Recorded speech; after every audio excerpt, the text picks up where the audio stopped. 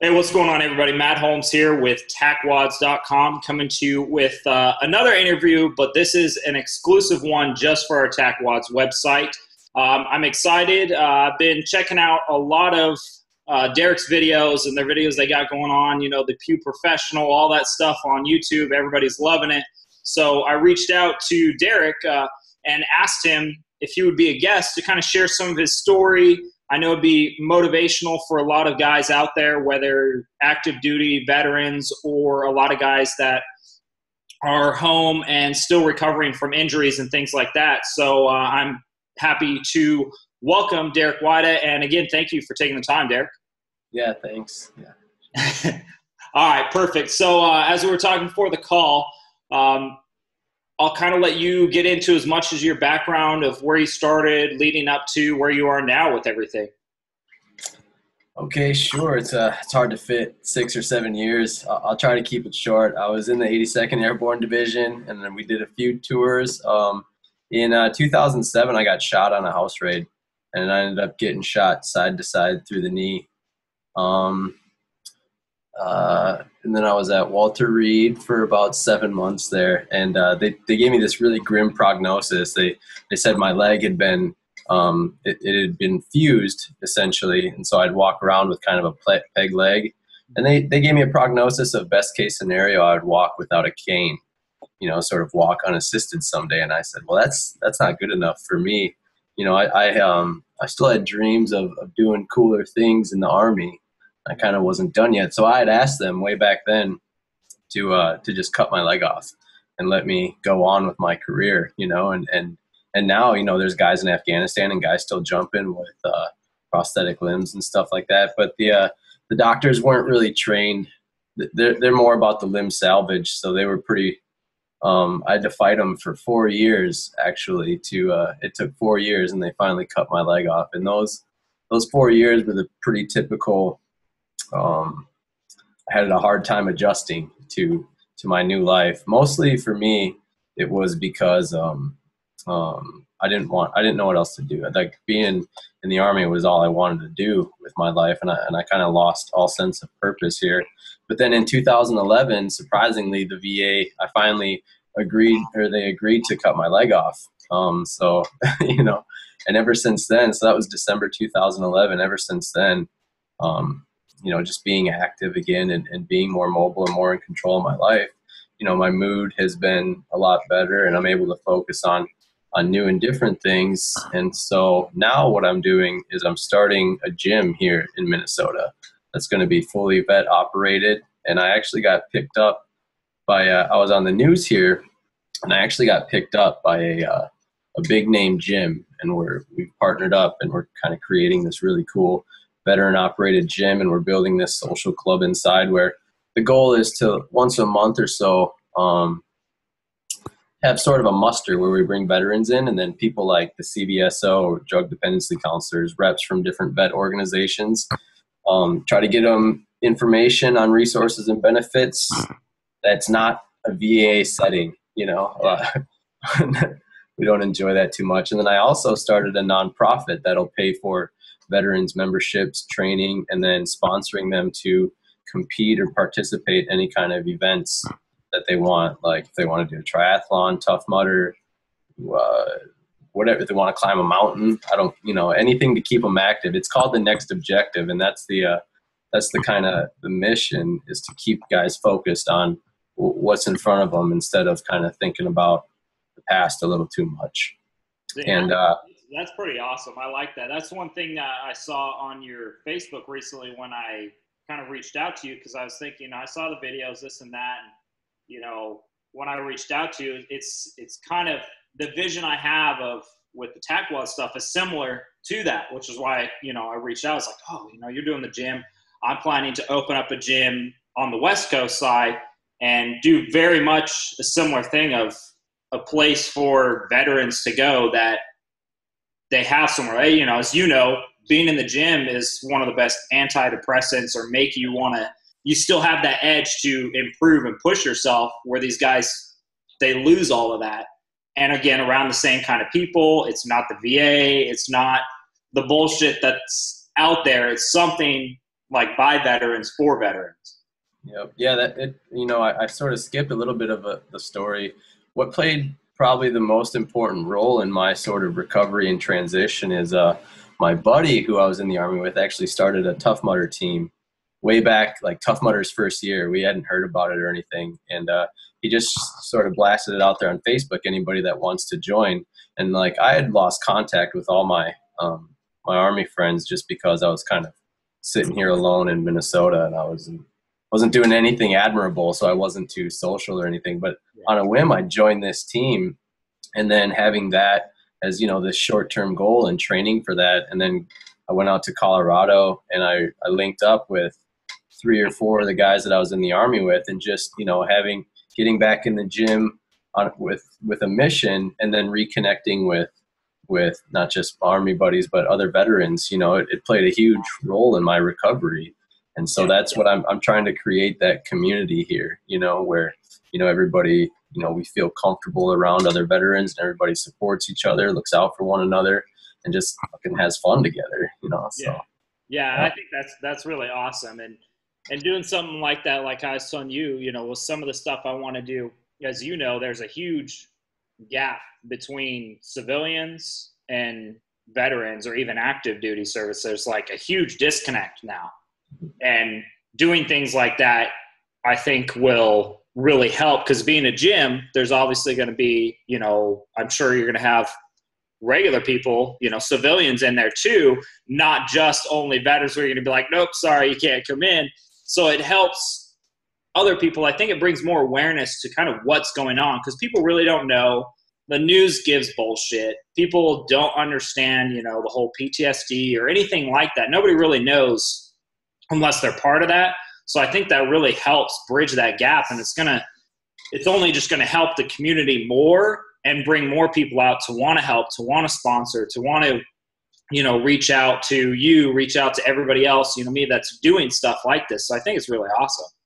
Yeah, exactly. And I, you know, I thought about that too. As I follow like dysfunctional veteran, there's a there's a really awkward community of veterans that think people hate them or don't care about them or something. So yeah, bridging that societal gap where you know um, veterans and civilians alongside each other, they can get us the vets can get a sense that people do care. Maybe sometimes they just don't know how to show love and support and so and or they don't personally even know any veterans or active duty um, yeah people so yeah bridging that gap is could be could be potentially um, really big in someone's life you know so exactly yeah yeah, yeah i think that's going to be something huge because you know as, as you and i both know there's only so much the government and the va and all this other shit can really do which isn't a whole lot and i think that's where we kind of all need like you're saying look out for each other step up and then civilians i think need to and i think they they're out there. There's plenty that want to but they just they don't know where to go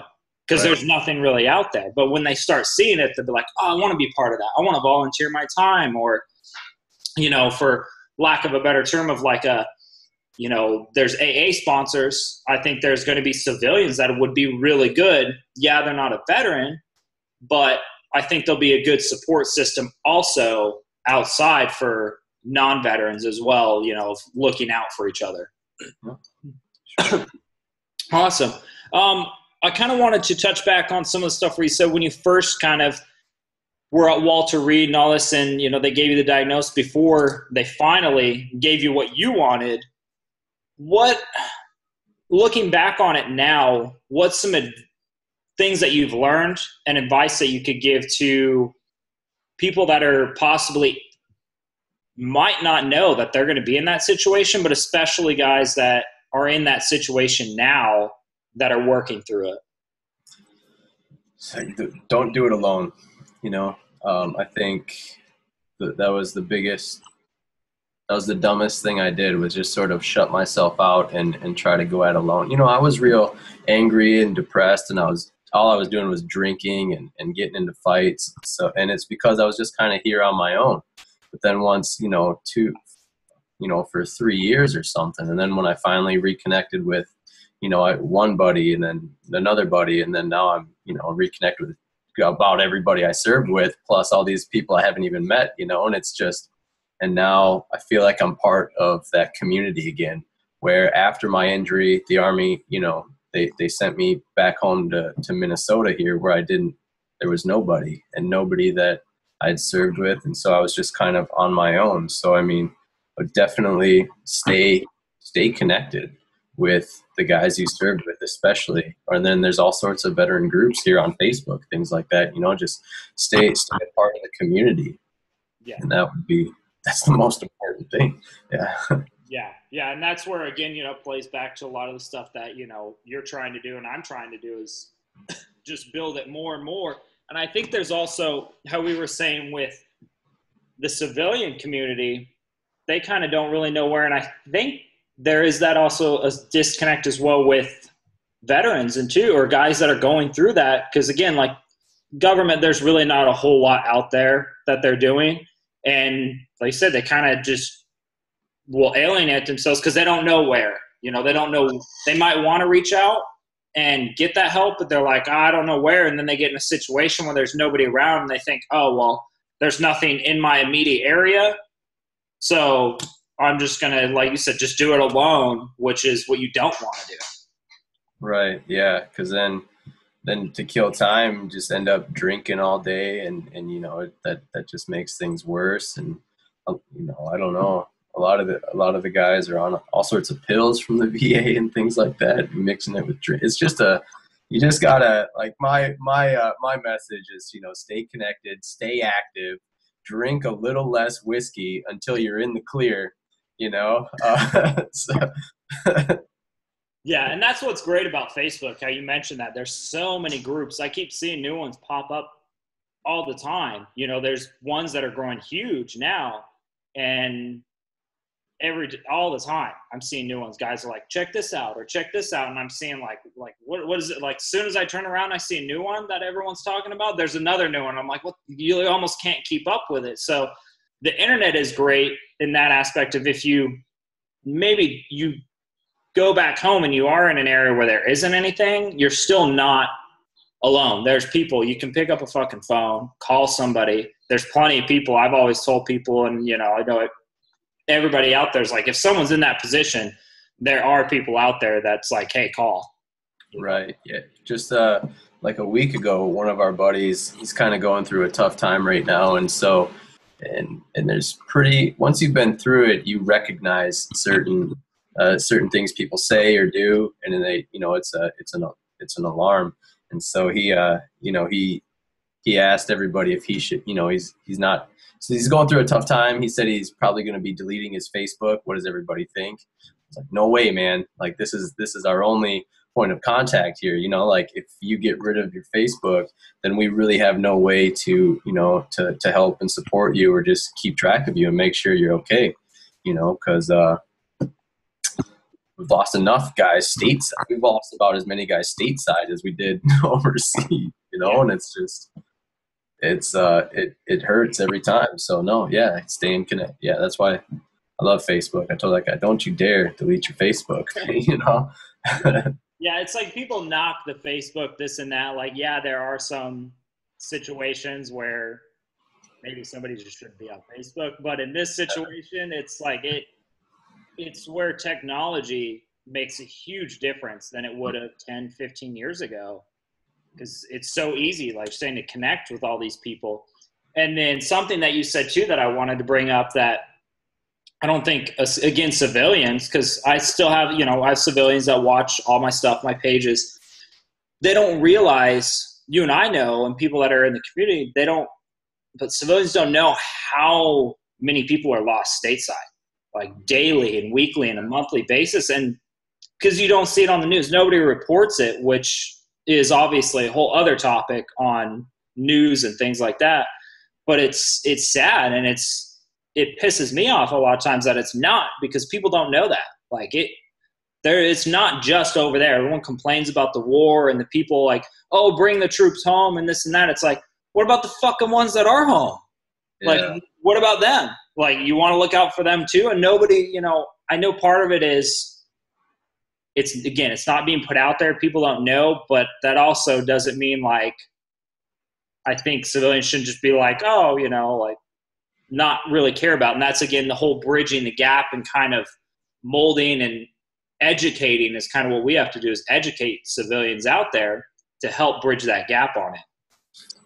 Yep, and that's why I think you know what we're trying to do with the gyms is great because I went through the VA. The, I, I, went through the uh, what the VA will put you through. You know, like I was on some antidepressants, and then I had to go to, uh, you know, see a psychologist. I did the 30 day um, in hospital program thing, and that's just it's never when I when I needed help. That's not what I that's not what I needed or wanted, and I didn't know at the time. But what I I just wanted to be back in the family, you know, and and and I sort of shut myself out.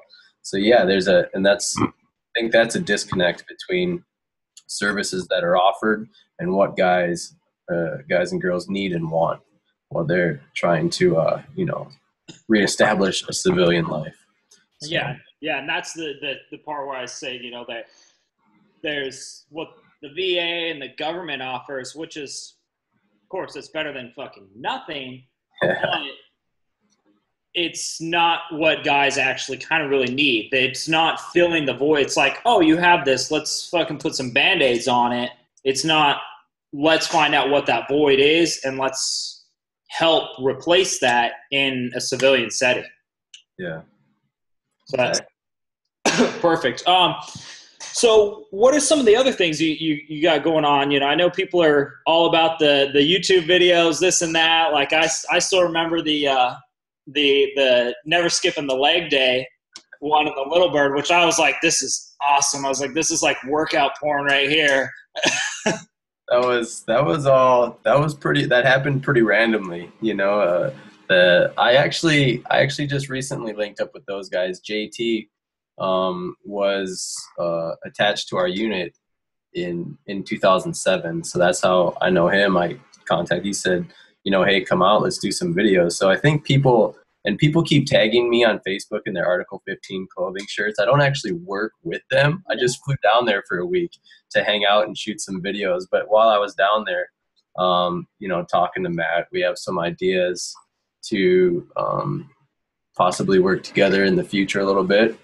Um, yeah, those those guys are. That was a good time. I, my my training and diet suffered miserably that week but uh, we had a good time. Yeah. yeah. The videos I see, you know, like the the recent one too, the the how do you know if you're a veteran one, you know, like they're they're all good. Yeah. But I remember that I think the the little bird one was one of the first ones I saw. And I'm like, what is this? You know, and everyone's like, you know, it's always like, oh, skip leg day. I'm like, short video, let me see. And I'm watching. And then I was like, oh, I was like, I sent it to everybody. I was like, this is pretty badass. yeah, it was good too because Matt was really upset all day because we had he uh, we had posted a, a, like a gym selfie earlier in the day just saying hey what's up? And everybody was trashing on his legs. And it's funny because his legs aren't even small but he was getting he was getting real emotional about all the hate talk on the internet. And so that was that video was just uh, kind of the rebuttal you know? It's like hey make fun of me but when's the last time you did pull-ups on a little bird you know? Yeah that, that's why i saw it i was like pretty much your argument was invalid at that fucking point. Yeah. i'm like yeah i was like that she's what are you when are you gonna do that? Like who's done that? Pretty much nobody. Yeah talk all the shit you want. Now shut up.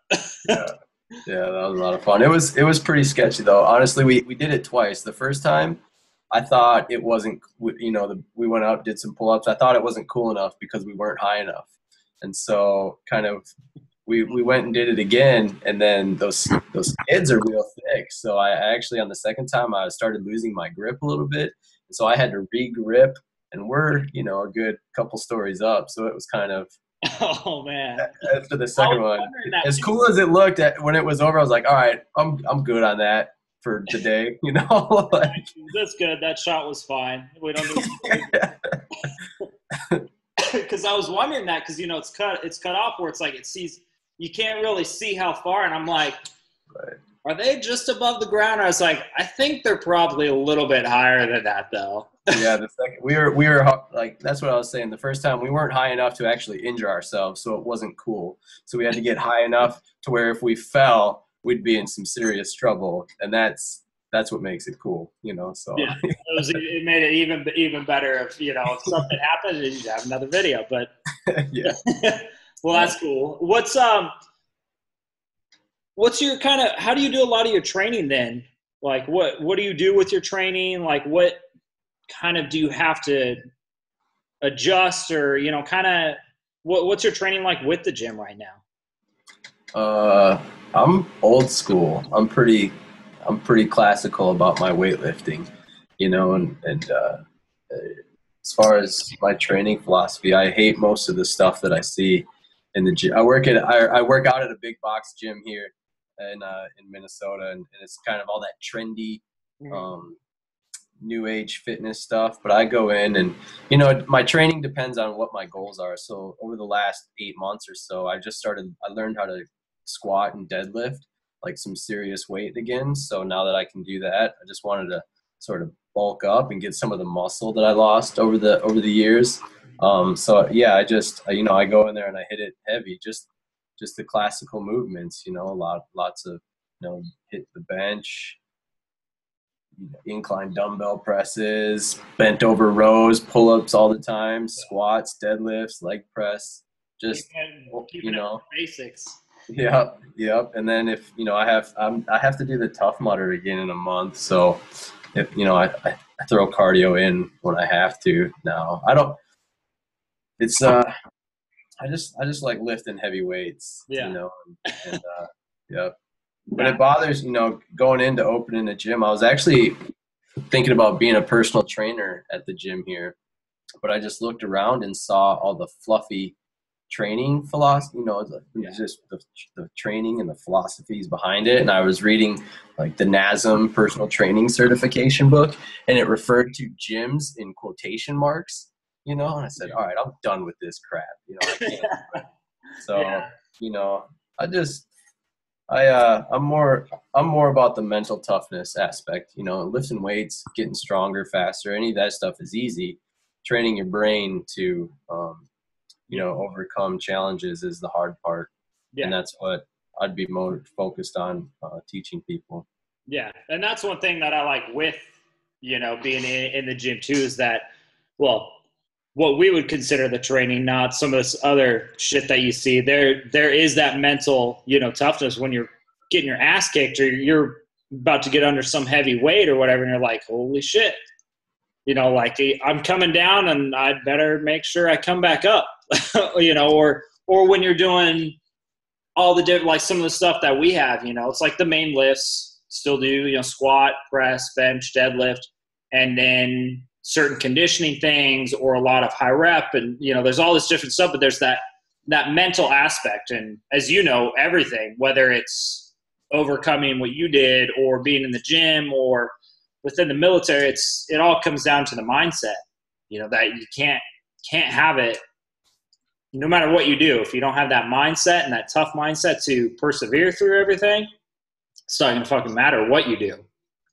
Yep, and that you know that's uh, uh I think we understand a, a don't quit mentality a lot better than um a lot of the civilians around here. But and yeah, once you unlock that part of your brain that kind of says there's nothing that I can't do because I'm I'm dumb enough and I'm tough enough to give my best at everything and that translates outside of the gym too in their personal lives you know you know relationships or work things like that. None of it everything's a little bit easier to handle because you're just stronger mentally yeah. you know but that, that can all be uh, learned and taught in the gym which is you know something i enjoy so. Yeah yeah and that's you know that's one reason why i love it. You know it's for me it's my it, it's almost always brought up on any interview i do the the mental aspect of it and you know, because a lot of people that get serious into it, whether they're power lifters or anything, it typically comes from a mental thing of them trying to come over and persevere over something. Like for me, I fell in love with it when I was younger, but then I had family issues, things like that growing up, and I fell out of it and turned fucking super hardcore into drugs, like hardcore, hardcore into drugs. And it got me out of it because it was like that it gave me that mental like something else like yeah i'm totally addicted to the gym now which is way better. But it, it gave me that mental toughness to kind of deal with shit overcome and push myself in a better better way. And I know guys that did it with it, you know, whether they were overcoming something serious within their family or they were you hear a lot of these guys that do great things they were bullied a lot when they were kids. And so they went in because they wanted to be tough not just strong but give them that mental confidence of i can really do this or i can do anything and nothing's going to stop them. most of the times those guys come in to be successful everything they do in life outside the gym because like as you said it, it plays everywhere you know there's so much cross uh, correlation with gym and the regular life. Yeah, I mean, once you can, uh, if you can mentally put yourself under a couple hundred pounds, you know, a lot, like a lot of guys, a lot of guys fear the weight and they lose out on reps, things like that. So once you break that, open up that part of your brain that just becomes sort of fearless. That's what um, can, uh, you know, uh, just translate into different areas of your life and, and make some big improvements there. Yeah and then that's where it's like seeing guys like you and you know i know it's more common now but like as you were saying back in back in the day it was kind of unheard of to see some of these guys whether they're in big army or some of these guys in special operations that are going back with only one leg and they're out there fucking kicking doors and shit like that. Like you got to have that mental toughness and it really proves like you can do anything. You know as you say you know there's guys jumping still. Like they're they're just as badass as they were, you know, er, with two legs doing all this crazy shit. But you know, you never know, and it's all that mental aspect of it. You know, all the shit that you're doing now. It's like it's not stopping you. And I think that's also a message to show these guys. I think that are out there is, I'm sure anybody, you know, I can only imagine. You know, obviously better than I can, that you can prepare, but I'm sure there's going to be anybody that goes through that, there's going to be questions of, can I really do this? But that's where that mental workout basically is going to start to push. And okay, you know what? Fuck that. Look at all these other guys. Look at you, which is why I wanted you on. Just like, look at it. You, you can really do anything. It's not going to make a fucking difference. Right. Back in uh, so in in 2012, I got my leg cut off December 2011. I got my first leg early March 2012, and as a sort of a sort of motivator, my buddy signed me up for the Tough Mudder again, and so the Tough Mudder was in June already. And so what's that March April May? I've had I had a leg for about three months. I couldn't even really walk a mile, and you know the Tough Mudder was creeping up on us, and I was like, man, are, are we really gonna do the Tough Mudder? And we were sort of hemming and hawing about it, and then I just thought, I'm not. I I wouldn't be able to live with myself oh, that's a uh, severe weather warning. Sorry. I can't control those ones. Yeah. Yeah. So, anyways, we were hemming and hawing about doing the Tough Mudder, and I just thought, man, I I couldn't, I can't, I can't imagine me saying no. I can't do something, you know. And so I showed up to the Tough Mudder with my leg on, and I had my crutches on my back, and uh, I ended up going about six miles on my leg, and then I finished the like the last seven miles on crutches.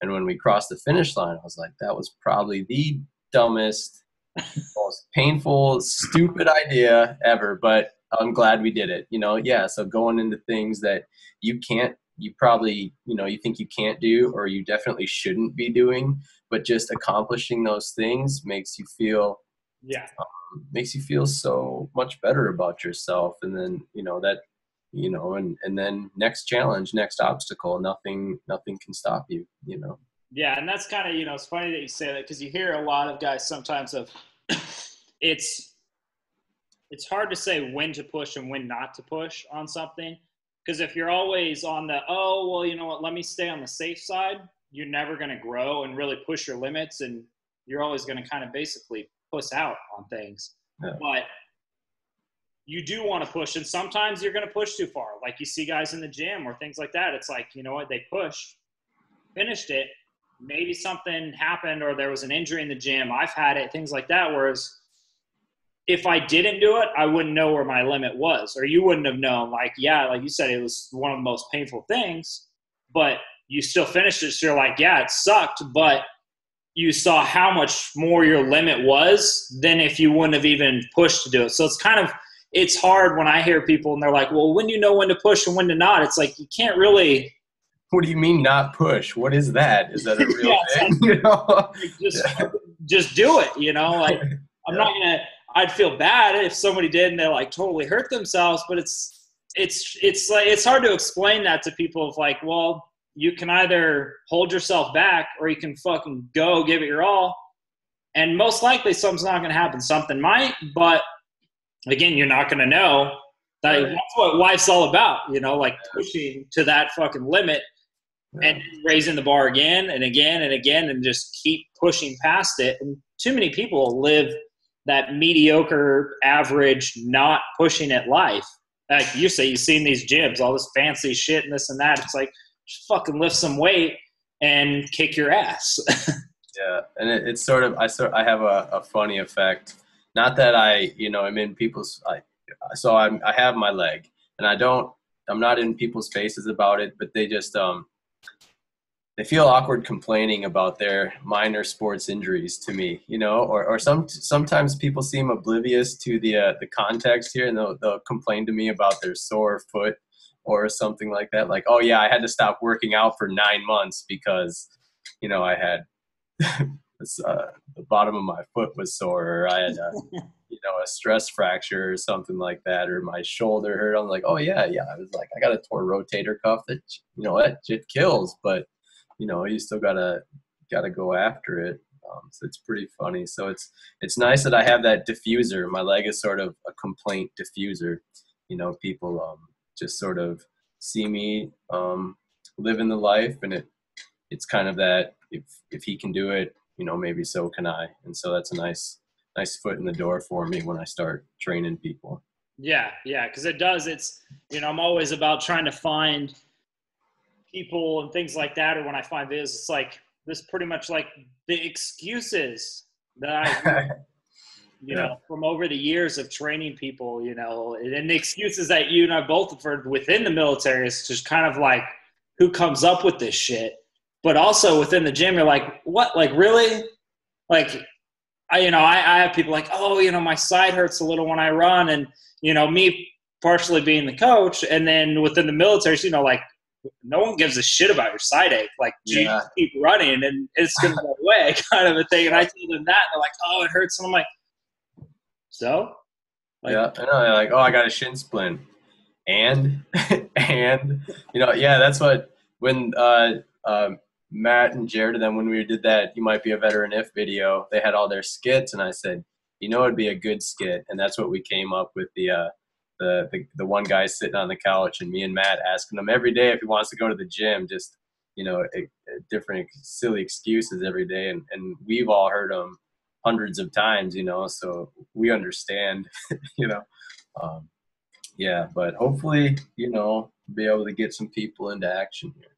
Yeah, yeah, definitely. I'm sure like it's like you said, you can just walk into a gym and it's I think it'll pretty much anybody that sees this will be like, okay, like I need to stop being a pussy. Like if they are, like I even remember this last year when I was uh before I started back up with all this when I was uh I was in Kuwait at my last contracting job, and there was a guy. He was still active duty. He was actually he wasn't a, a, a reserve. He was think he was fourth ID. So he's a, he was a regular active duty guy, and he had a prosthetic leg too. But he was in the gym working hard, and it was like instantly when he was there, I swear to God, everybody started working harder that was around him. They were like, stop sandbagging. Like they were like, okay, like I need to work harder. One of my buddies the other day, um, a friend of mine and kind of a mentor, I told him, I was like, oh, hey, remember that? I told him, you know, send him the Little Bird video. I was like, oh, you know, I got Derek on, you know, it's going to be great for the site. And he's like, yeah, I was at the gym this morning and he's down in San Diego. It's like there was a guy, there were two guys there. And I think one had both of his legs at the knee gone and one only had one leg. And he was like, it was, it's like it pretty much made everybody's excuses invalid. He's like, and everybody was working hard. Like, he's like, that shit was awesome for him to see. He was like, it was fucking awesome. And he's working out. He's like, I wanted to work harder basically from just seeing it because it, it puts that into perspective, just automatically seeing it like, okay, I need to quit fucking being a pussy. right. And it, it's kind of funny from my end because it's normal for me. You know, my leg is no. I'm just me. It's nothing special. I'm just I'm just in the I'm in the gym to do my thing. Nothing special about it. You know, but I forget what I may look like to other people. You know, so whereas I'm just kind of in there doing my thing, I don't even.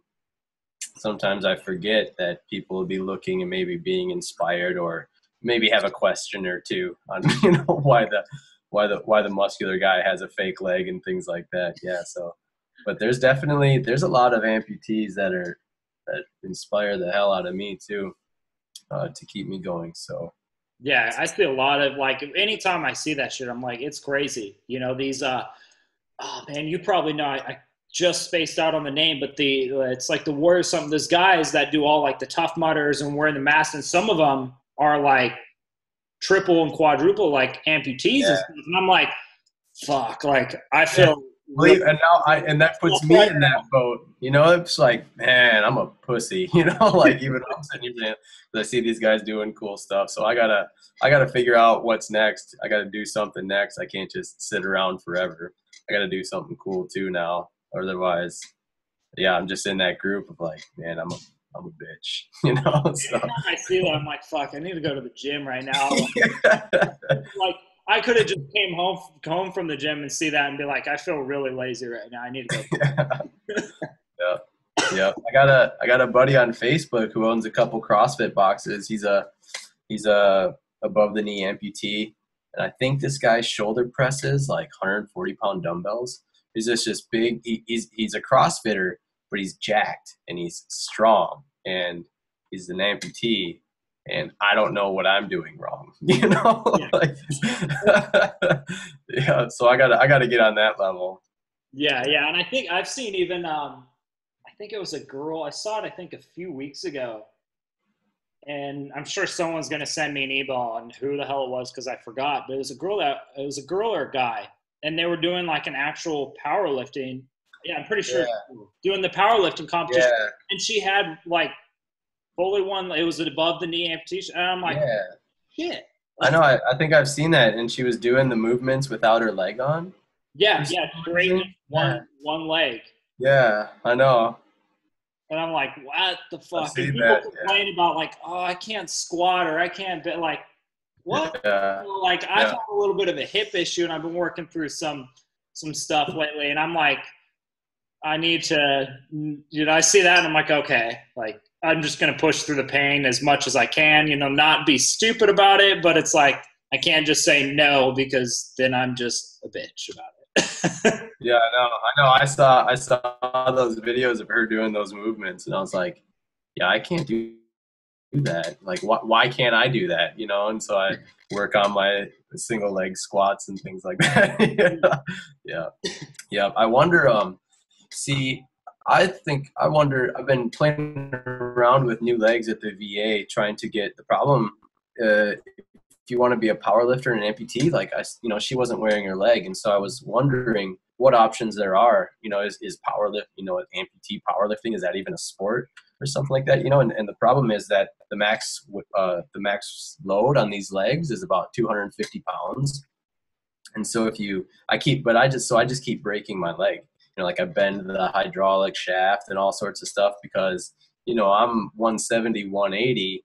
I'm deadlifting, you know, 350, 375. It's just, just destroys the leg. And so I'm, I'm trying, I'm, I'm waiting for the day where they have like an 800 pound max load leg where I can do some real deadlifts again and things like that. Yeah. Maybe uh, amputee powerlifting. Eventually come out, come out with something. I was kind of wondering that too, like how, do you have do you just wear the same leg or is there one like if you do the Tough Mudder like say if you go run is it do you have something different?